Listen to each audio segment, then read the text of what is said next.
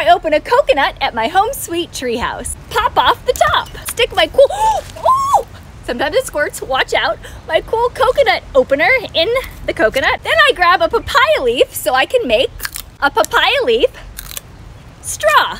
No plastic needed. How nuts is that?